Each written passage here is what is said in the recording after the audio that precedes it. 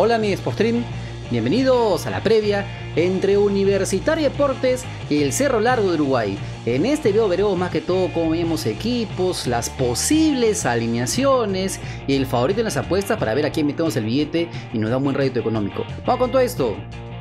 Vamos a empezar diciendo que es un partido que se juega el sábado 18 de enero a las 8 de la noche en el Estadio Monumental de Universitario de Deportes con presentación, en este caso de la plantilla 2020 de la U, que seguramente va a estar estadio lleno, de hecho ya se han vendido como más de 40 mil entradas para este partido, así que yo espero que el Estadio Monumental esté de bote a bote, porque es una noche especial, una noche en que los hinchas de la U van a conocer a la plantilla oficial de este 2020 y que va a tratar de pelear tanto por el título nacional de la Liga 1 y también por la Copa Libertadores que sea de paso la siguiente semana ya están jugando contra Carabó en Venezuela. Así que mucho ojito con este plantel que seguramente esta noche no serán todos los titulares, eh, seguramente guardarán unos jugadores que están ya con una carga, una sobrecarga física, así que veremos un partido creo interesante. Este Cerro Largo ha estado jugando bien la temporada pasada, si bien es el primer partido que nosotros sabemos que juega este Cerro Largo en el 2020, la U ya viene jugando varios partidos incluso a nivel internacional, este será el tercer partido internacional de la U, ya le ganó Huracán el domingo pasado, 2 eh, a 1, lamentablemente perdió el jueves contra Boca Juniors cero y ahora va a tratar de lavarse la cara con este Cerro Largo de Uruguay que repito no es una pérdida en dulce, ¿ah? pero si vemos las apuestas vamos a ver que la U es favorito, obviamente por ser local, un equipo eh, mucho más hecho el de la U, mucho más caro que este Cerro Largo, así que los hinchas de Cerro Largo, los hinchas uruguayos que sean demasiado hinchas le pueden apostar para a su equipo porque incluso hasta el empate le paga muy bien, ¿ah? así que mucho ojo con el, el, caso de las apuestas. Ahora, si vamos a la racha con la que equipos, la cosa está muy pareja, aunque no crean. Ah, si vamos al Cerro Largo, vamos a ver que los cinco últimos partidos del Cerro ha ganado tres, ha perdido uno y empatado otro. Ha perdido el último partido, más bien el 5 de diciembre, es el año pasado por la clausura uruguayo, con el Peñarol, más grandes de Uruguay, 2 a 1. Luego tuvo una racha de tres partidos eh, ganados contra el Boston River, también contra el Progreso y también contra el Racing de Uruguay. Y eh, el último partido que va a ser el empate fue contra el Fénix de Uruguay, así que venía de verdad regular este Cerro Largo. No es una, le repito, no es una cenicienta, no es un patito feo, es un equipo que por ahí tiene jugadores muy interesantes, ahorita lo revisaremos. Si vamos a lo tiene algo parecido. ¿ah? Vamos a ver que en los últimos cinco partidos tiene tres victorias, una derrota, un empate.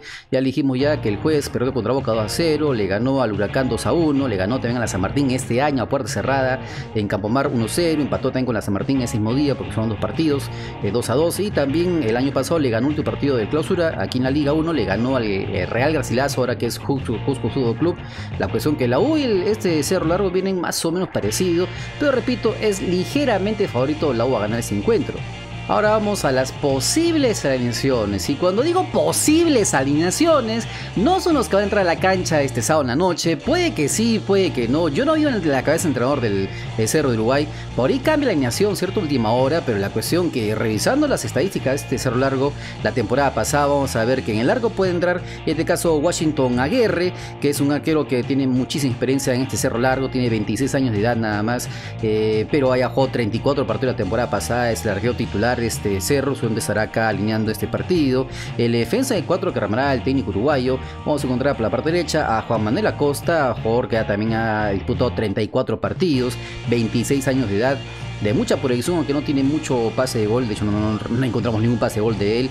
En la central tenemos ya dos jugadores eh, de relativamente jóvenes. En este caso, Jefferson Agustín Quintana, más bien de 23 años de edad y de metro 92. Ah, así que por arriba la U va a ser bien complicada y más bien tienen que cuidarse las pelotas para porque también su compañero Hugo Magallanes de metro 89 son bastante altos. Ah, este también es relativamente joven, 22 años de edad, uruguayo.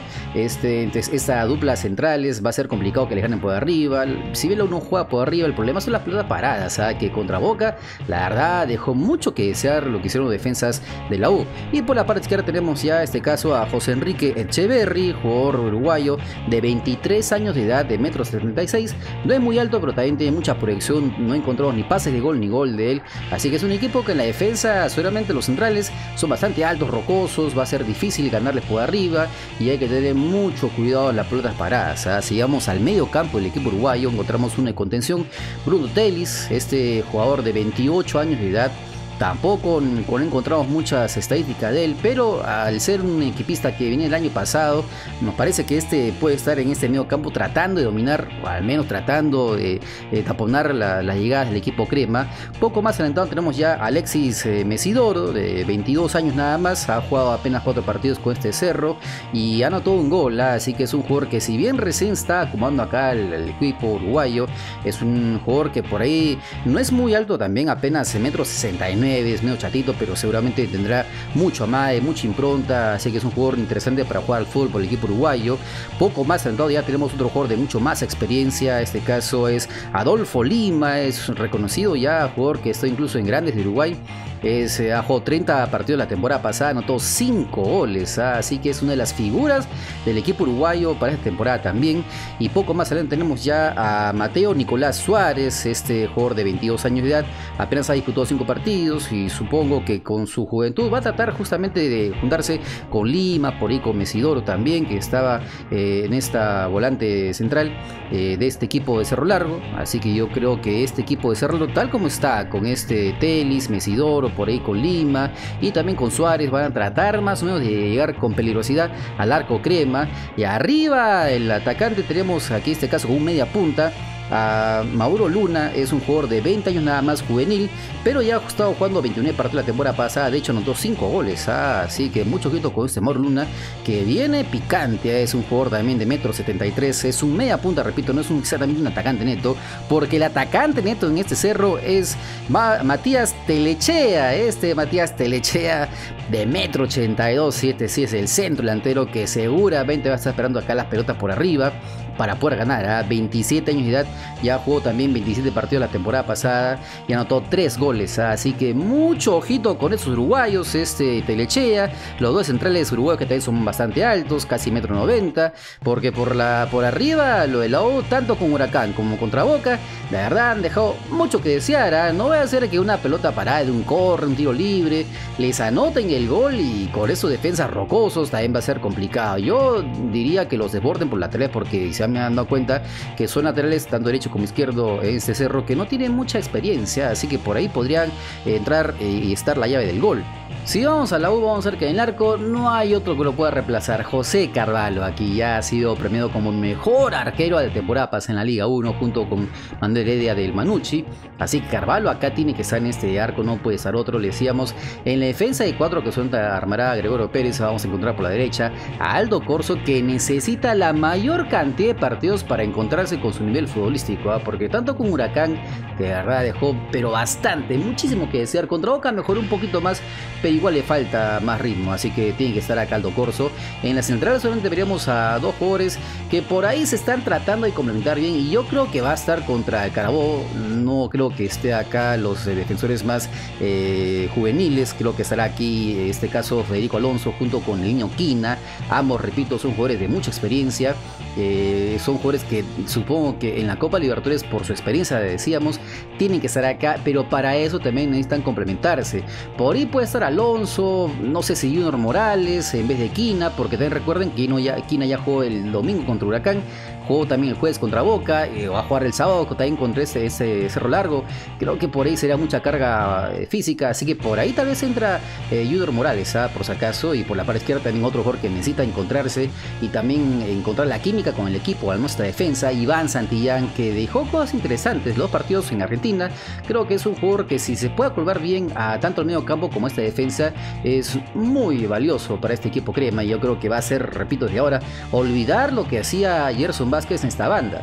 Si vamos al medio campo vamos a encontrar de contención a Armando Alfajeme. Creo que también aquí es otro jugador que necesita más fútbol y más partidos para recuperar su nivel futbolístico. Así que acá tiene que estar en esta central. Eh, acompañándolo puede estar Gerson Barreto con Rafael Guarderas, que siempre son sus files escuderos. Y más que todo me parece Guarderas tiene mucho mayor eh, marca eh, que Barreto, que podría por ahí estar andando por la parte derecha. Porque por arriba creo que entrar Donald Millán. A pesar de que a muchos no les gusta y por ahí han estado despotricando de lo hizo contra Huracán, billón de la banca suplentes y luego contra Boca Juniors como titular.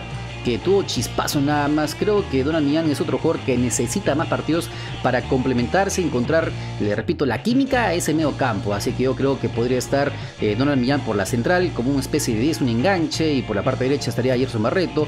Por la parte izquierda no sé si estará Alejandro Hover, porque repito, tuvo una, una pequeña molestia el miércoles, una molestia muscular, por eso no jugó contra Boca el jueves.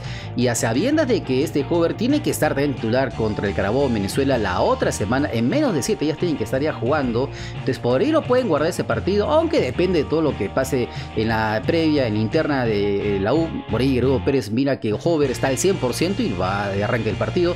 Pero yo este, en la parte izquierda pondría acá a Luis Urruti, que tampoco no hizo tan mal partido contra Boca. Con las subidas de Santillán también se completaba muy bien por ahí, se estorraba un poquito, pero creo que con la mayor cantidad de partidos también se va a encontrar con el equipo crema. Y arriba otro jugador que si bien tuvo cosas interesantes contra Huracán, contra Boca, muy poco en verdad, Jonathan Dos Santos, el goleador que tiene que ya aparecer para este equipo crema, al menos darle ciertas, ciertos minutos aquí en la cancha, igual que sea el goleador que necesita la U, ¿ah? porque repito, la U tiene que aprovechar el mal momento del Carabobo venezolano, que le ha sacado como 8 jugadores la temporada pasada, que está de goleada en goleada, lo golea 5-0, en este caso la semana pasada lo goleó 5-0, hace dos semanas le ganó 3-0 el Caracas, o sea, no viene bien el Carabobo y la U tiene que llegar a punto para ese partido de Copa Libertadores y ver si es que elimina Carabobo y luego presentarse contra Cerro Porteño. No se olvide a mí Sporting que estamos produciendo los productos en la tienda de Teespring, una tienda oficial de YouTube. Estamos cerca de calcomanías, con los polos, con las poleras, con las tazas. Estaremos infinitamente agradecidos que nos puedan colaborar. Y si no pueden de esa manera, también están los del super chat y los super stickers que hacemos en los directos de la Liga 1, en la Liga 2 también, de la Copa Perú muy pronto, de la Copa Bicentenario cuando en aumento, de la selección peruana de fútbol que se estará jugando ya el Mentores para Qatar 2022, porque es el canal del fútbol peruano. Si te gustó el video, de like, comparte, suscríbete con la campanita. Nos vemos el próximo video. Chau. Oh.